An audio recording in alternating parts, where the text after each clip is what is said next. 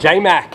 Josh McDermitt at LAX, the guy from The Walking Dead with the mullet. Like two hours before I saw him, he um, tweeted out a photo of him in Portland with the Stranger Things kids. So I say, what were you doing with the Stranger Things kids? And he goes, I can't say, man. I can't say. Oh my God, season say. two, Josh McDermitt. and I'm like, look, are you starring in season two?